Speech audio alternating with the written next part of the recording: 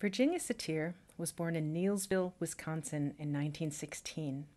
She was a very early recognizer of the interdependence between the individual and the family.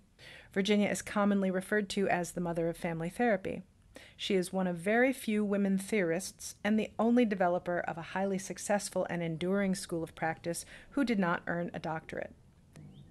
Satir devoted much of her career to helping people find the necessary mental health resources for their needs, Throughout her career, Satir taught hundreds of workshops and trainings in her family therapy methods, and she worked as a social worker and therapist. She died in 1988 at the age of 72 of pancreatic cancer. She had planned to be conducting a training and was on the phone with her staff giving direction hours before she died. Satir's transformational systemic therapy, also known as the Satir growth model, emphasizes engaging the inner self looking in a balanced way that she referred to as congruence, not just at the self, but also at the context and the others involved.